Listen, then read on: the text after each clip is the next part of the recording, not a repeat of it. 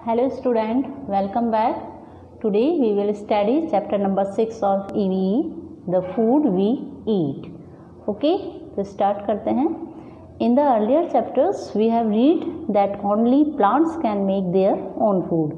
इससे जितने भी प्रीवियस चैप्टर्स हैं हम उसमें हम पढ़ चुके हैं कि प्लांट्स ही एक ऐसा है जो खुद अपना भोजन बना लेता है ओके खुद means they prepare own food They take in carbon dioxide from the air and water from the soil in the presence of sunlight and chlorophyll to produce food. किस तरह से बनाते हैं वो वो कार्बन डाइऑक्साइड लेते हैं एयर से एंड वाटर लेते हैं सॉइल से एंड सनलाइट एंड क्लोरोफिल की प्रेजेंस में वो फ़ूड को प्रोड्यूस करते हैं herbivorous animals like cow goat deer ये सब क्या फ़ीड करते हैं? क्या खाते हैं ये? ग्रीन प्लांट्स खाते हैं। एंड कार्निवोरियस एनिमल्स जो कि फ्लैश खाते हैं लाइक लायन टाइगर्स चैकर्स ये सब क्या करते हैं? Herbivorous animal herbivorous animals पे डिपेंड रहते हैं अपने फ़ूड के लिए। So all living things depend on plants for their food हम पहले भी पढ़ पढ़ चुके हैं प्रीवियस चैप्टर्स में दैट सभी लिविंग थिंग्स जो हैं, वो डिपेंड होती है अपने फ़ूड के लिए प्लांट्स पर।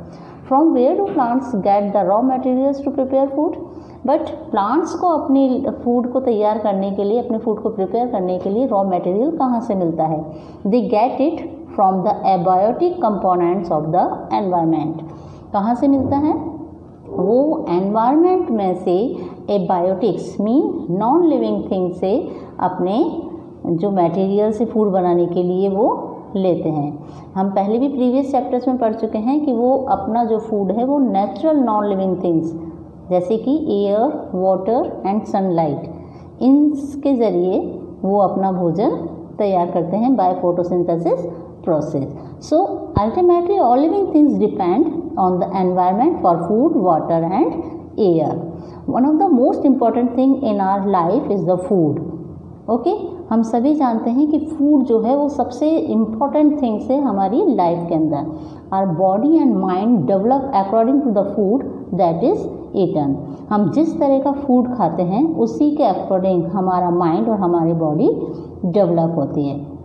By eating nutrition food we will grow into healthy adult यदि हम अच्छे से न्यूट्रिशन लेंगे न्यूट्रिशन से भरा हुआ फ़ूड हम लेते हैं अपनी लाइफ में तो क्या होगा? हमारी बॉडी जो है वो अच्छे से ग्रो होएगी हेल्दी होएगी। If we cultivate wrong eating habits we may fall ill यदि हम, हमारी जो हैबिट है खाने की, यदि वो रॉन्ग हैबिट होगी, जैसे कि हम जंक फ़ूड ज़्यादा खा रहे हैं, या न्यूट्रिशन से भरा हुआ फ़ूड नहीं ले रहे हैं कुछ भी खा रहे हैं तो उससे क्या होगा? हम अनहेल्दी हो जाएँगे और हम बीमार पड़ सकते हैं। Let us find out what nutrition food is and why it is necessary अब इस चैप्टर्स में हम पढ़ेंगे कि न्यूट्रिशन फ़ूड आखिर में है क्या और ये क्यों हमारे लिए ज़रूरी है। Okay the food we eat contains substance that keep our body healthy वो फ़ूड जिसमें न्यूट्रिशंस की क्वांटिटी होती है, जो हमारे बॉडी को हेल्दी रखते हैं ग्रो करते हैं तो वो क्या कहलाते हैं? Nutritions these substances are called nutrients some nutrients help us to grow कुछ न्यूट्रिशंस ऐसे होते हैं जो हमें ग्रो करने में, यानी कि बढ़ने में सहायक करते हैं। सम गिव अस एनर्जी कुछ ऐसे होते हैं जो हमें एनर्जी देते हैं हमारी बॉडी को कुछ भी वर्क करने के लिए। And some protect us from disease और कुछ फ़ूड ऐसे होते हैं जो हमें बीमारियों से बचाते हैं। The nutrition that our body needs are proteins carbohydrates fats, vitamin, minerals and roughage वे सब न्यूट्रिशन जिन जो कि हमारी बॉडी के लिए ज़रूरी है, जो नीड है हमारी बॉडी के लिए, वो हैं proteins, carbohydrate, fats vitamin minerals and roughage these nutritions can be broadly divided into three groups. In nutritions को हम थ्री ग्रुप के अंदर डिवाइड कर सकते हैं। फ़र्स्ट है हमारा बॉडी बिल्डिंग फूड्स, सेकेंड है energy giving foods, and third है प्रोटेक्टिव फूड्स। ओके? तो हम एक एक स्टेप से चलेंगे, जैसे कि फ़र्स्ट हम लेते हैं बॉडी बिल्डिंग फूड्स तो फ़र्स्ट है हमारा body building foods proteins are body building foods protein से रिलेटेड जितने भी फ़ूड हैं, वो सब क्या कहलाते हैं? बॉडी बिल्डिंग फूड्स है. They help us to grow ये हमारे ग्रो करने में मीन्स हमारे बॉडी को बढ़ाने में, हमें बढ़ने में हेल्प करते हैं. They also help in repairing the damage part of the body ये क्या करते हैं? प्रोटीन्स जो होते हैं, वो यदि हमारे बॉडी में कुछ डैमेज हो जाता है, कोई पार्ट डैमेज हो जाता है तो उसको रिपेयर करने में भी हेल्पफुल होते हैं। फॉर एग्ज़ाम्पल देखो when our hands and knees get scratches by falling down while playing okay यदि हम जब भी खेल, खेलते करते हैं तो गिरने के कारण हमारे हैंड्स पर, हमारी नीज़ पर, हम सभी जानते हैं कि चाइल्डहुड डेज़ में हमारी क्या होता है नीज़ पे हैंड्स पे गिरने के कारण, बहुत गिरने के कारण हम घर क्या है स्क्रैचेस वगैरह आते रहते हैं। तो क्या इन स्क्रैचेस को लेकर हम तुरंत हॉस्पिटल जाते हैं? नहीं। ये जो छोटी मोटी स्क्रैचेस होती है, उसको लेकर हम इतने घबराते नहीं हैं, और वो हम क्या करते हैं, उस एरिया को जहाँ पे स्क्रैचेस वगैरह लगे हैं, हम उसको क्या करते हैं क्लीन वाटर से धो लेते हैं और कुछ भी एंटीसेप्टिक हम लगा लेते हैं। और कुछ दिनों बाद हम क्या देखते हैं कि वो जो जहाँ पर स्क्रैचेस वगैरह आया था, वो स्किन दोबारा से वहाँ पर आने स्टार्ट हो जाती है। तो ये किसके कारण होता है? प्रोटीन से रिलेटेड फ़ूड के कारण। ओके अब after few days the scan in the skin in the damage area as good as new okay the body has manage to heal the minor injury and replace the damage skin if the injury is such that the body can not take care of it by it self it may require outside है छोटी मोटी जो damage होता है, उसको तो हमारे body खुद uh, सही कर लेती है ओके बट यदि ज़रूरत से ज़्यादा कोई हमें प्रॉब्लम हो जाती है तो उसके लिए हमें आउटसाइड से हेल्प लेने से, लेनी होती है। उसके लिए हमें हॉस्पिटल्स वगैरह जाना पड़ता है। We provide this in the form of ointments and other medicine so now we know that proteins are an important part of our diet तो अब इससे हमें ये मालूम पड़ता है कि प्रोटीन क्या है। एक ऐसा इम्पोर्टेंट पार्ट है जो हमारी बॉडी के लिए बहुत ज़्यादा ज़रूरी है। ग्रो करने के लिए ओके स्पेशली चाइल्ड चाइल्ड के लिए। सम प्रोटीन रिचेस फूड्स यहाँ पे कुछ प्रोटीन रिलेटेड फ़ूड हमें बताए गए हैं। For example milk egg cheese curd lean meat fish chicken beans dals and other legumes grain nuts and seeds ये सब क्या है? प्रोटीन रिच फ़ूड है। Lack of certain nutrients lead of deficiency disease in our body protein sorry in nutritions की कमी से, इन proteins की कमी से हमारे बॉडी में बहुत सारी डिज़ीज़ हो सकती है।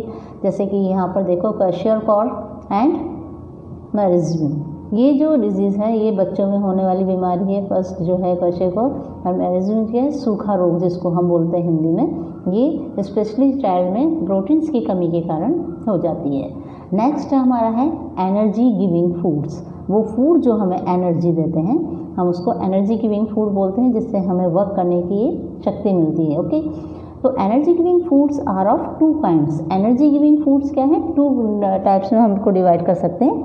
Number one those that release energy quickly ऐसे फ़ूड जो हमें एनर्जी देते हैं और तुरंत एनर्जी दे देते हैं, जिसको हम खाते हैं और हमें तुरंत एनर्जी आ जाती है ओके एंड सेकंड है those that release energy slowly और कुछ फ़ूड ऐसे होते हैं जिससे हमने खाया तो है, लेकिन तुरंत हमें एनर्जी फील नहीं होएगी उससे। हमें धीरे धीरे उसकी एनर्जी का हमें मालूम पड़ता है। Foods that release energy quickly are called carbohydrates ऐसे फ़ूड जो तुरंत हमें एनर्जी देते हैं, हम उनको क्या बोलते हैं? Carbohydrate these form the largest chunk of every meal ये एक बड़ा पार्ट होता है हर, हमारे हर खाने का।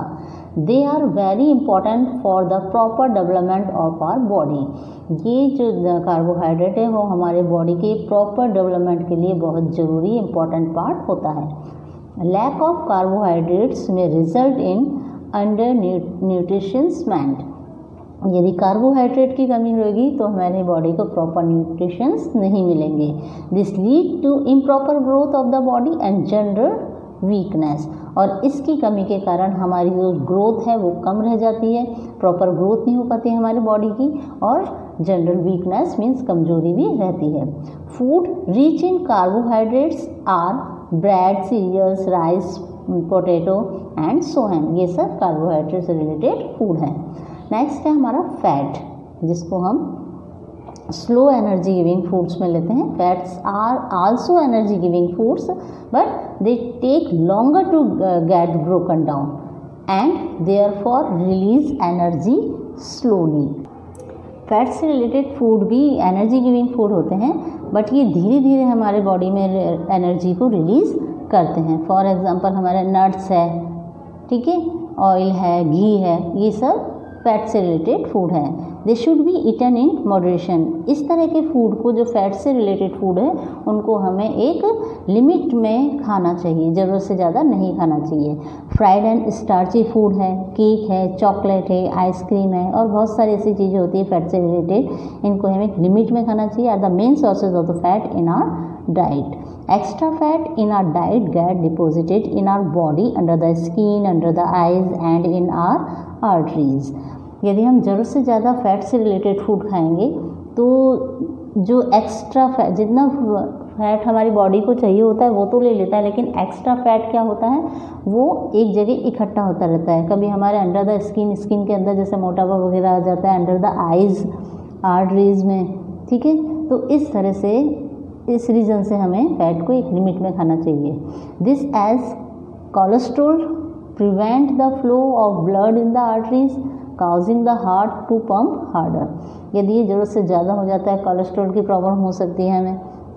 ओके एंड जो हार्ड पंप करता है वो इजीली पंप करना बंद कर देता है, बहुत हार्ड हार्डर हो जाता है उसके लिए पंप करना। This could lead to high blood pressure and stroke और हार्ट अटैक इस रीज़न के कारण यदि फैट ज़रूरत से ज़्यादा हो गया है तो वो ब्लड प्रेशर की भी प्रॉब्लम कर सकता है हमारी बॉडी में स्ट्रोक वगैरह आ सकते हैं हमारे बॉडी में एंड हार्ट अटैक की प्रॉब्लम भी आ सकती है। तो ये था हमारा एनर्जी गिविंग फ़ूड नेक्स्ट है हमारा प्रोटेक्टिव फ़ूड प्रोटेक्टिव फ़ूड से ही हमें मालूम पड़ रहा है ऐसे फ़ूड जो हमें प्रोटेक्ट करते हैं। किससे प्रोटेक्ट करते हैं? कई तरह की डिज़ीज़ से मीन्स बीमारियों से। Protective foods are those food that do not have any nutritional value इनकी कोई न्यूट्रिशन वैल्यू नहीं है बट आर इंपॉर्टेंट लेकिन फिर भी ये बहुत इंपॉर्टेंट है। They stand the body by preventing disease ये हमारे बॉडी को स्ट्रेंथ देते हैं किससे? डिज़ीज़ से लड़ने में। Lack of These may lead to deficiency. Disease. Protective foods can be classified into vitamins, minerals and roughage इसमें ये थ्री टाइप्स के फूड्स आ जाते हैं जैसे कि विटामिन है मिनरल्स एंड रफेज है। तो vitamin are necessary to fight disease vitamin जो होते हैं वो डिज़ीज़ से लड़ने के लिए मीन्स बीमारियों से लड़ने में बहुत ज़्यादा ज़रूरी होते हैं। They are required in very small amount ये बहुत स्मॉल अमाउंट पर चाहिए होते हैं हमारी बॉडी को। They are usually found in fruits and vegetable अब नेक्स्ट है minerals minerals are also found in fruits and vegetables ये फ्रूट एंड वेजिटेबल्स में पाए जाते हैं। However they are different from the vitamin फिर भी ये विटामिन से थोड़े अलग होते हैं। They are also required in very small amount for proper functioning of the body next है हमारा रफेज रफीज और dietary fibre can not be digested by the human digestive system हमारा जो ह्यूमन डाइजेस्टिव सिस्टम है, उसमें roughage और dietary जो fibre हैं, वो डाइजेस्ट नहीं हो सकते हैं। It retains water and improve the working of the intestine by adding work to the food ये क्या करते हैं? ये डाइजेस्ट करने का वर्क नहीं करते हैं, बल्कि क्या करते हैं? हमारे बॉडी में वाटर की जो क्वांटिटी है, उसको बनाए रखते हैं। ओके? हमारे इंटेस्टाइन का वर्क प्रॉपरली होता रहे जिसके कारण, ठीक है? And bowel movement bowel movement क्या होता है? बाउल मूवमेंट से मतलब होता है, जो हमारे बॉडी से वेस्ट निकलता है, उस उस मूवमेंट को हम बोलते हैं बाउल मूवमेंट ठीक है? It prevent constipation it also reduce blood sugar fluctuation and help in lowering cholesterol whole grain bread brain cereals, green leafy vegetables and some fruits are rich in refi. अच्छा page number जो 42 है और 43 वहाँ पर आपको देखो इस ए में सम इंपॉर्टेंट विटामिन के बारे में आपको बताया गया है। Vitamin vitamins A B C D and K तो विटामिन्स ए इसके सोर्सेस क्या होते हैं? Green leafy vegetables carrots milk butter pumpkin mangoes and olive oil and so on okay important किसके लिए इंपॉर्टेंट है? हमारी आइज़ एंड स्किन को हेल्दी बनाए रखता है। एंड एक्सेंसी डिज़ीज़ क्या है? किस चीज़ से बचाता है हमें? लाइन नाइट ब्लाइंडनेस रात को जिसको नहीं दिखाई देता है, उस, वो। And in which the person is unable to see in dim light तो ऐसी बीमारियों से ही हमें बचाता है। विटामिन बी ये ग्रीन वेजिटेबल्स में milk seafood red meat and other animals food में पाया जाता है। ये हमारी स्किन को हेल्दी रखता है ग्रोथ करने में और डेवलपमेंट करने में हेल्प करता है। अच्छा किस चीज़ से बचाता है ये? बैरी बैरी ये एक डिज़ीज़ है। Pellagra which affect the skin the nervous system and the digestive system third C है विटामिन सी आंवला टोमेटो सिट्रियस फ्रूट्स जिस खट्टे फल जो भी होते हैं। And needed for healthy growth healthy growth के लिए बहुत ज़रूरी होते हैं। इनकी कमी से कौन कौन से रोग हो सकते हैं? देखिए, इसका भी in which the person has swelling and bleeding gums okay अब डी में देखिए मिल्क विटामिन डी किसमें पाया जाता है? मिल्क में बटर में green vegetables it is also observe by the skin from sunlight sunlight से भी हमें मिलता है ये। हेल्प्स किसमें करता है ये? Formation of strong bones and teeth अब रिकेटस बीमारी की कमी से हो सकती है, जिसमें कि bones soft and out of the shape हो जाती हैं। नेक्स्ट है हमारा विटामिन के ये spinach broccoli cabbage tomatoes carrot cucumber इन सब चीज़ों में मिलता है। और ये हमारे वाउंड्स को मीन्स हमारे जख्मों को भरने में हेल्प करता है ये vitamin and excess bleeding from the wounds इसकी कमी हो जाती है तो ज़रूरत से ज़्यादा हमारे जो ब्लड होता है वाउंड में से निकलना स्टार्ट हो जाता है। पेज नंबर 43 पर भी आपको ये दिया गया है सम इम्पोर्टेंट मिनरल्स मिनरल्स में देखिए कैल्शियम है फॉस्फोरस है सोडियम एंड पोटेशियम है। तो ये सोर्सेज बताए गए हैं, इनकी इम्पोर्टेंस बताई गई है एंड डिफेंसेंसी लीड्स टू ठीक है? तो सोर्सेज देखिए कैल्शियम का मिल्क में है ग्रीन लीफी वेजिटेबल्स में है। और इम्पोर्टेंस क्या है? हेल्दी मसल्स के लिए स्ट्रॉन्ग बोन्स के लिए and proper working of digestive system के लिए। इसकी कमी से देखो वीक बोन्स हो जाते हैं और भी हमारे वीक हो जाते हैं।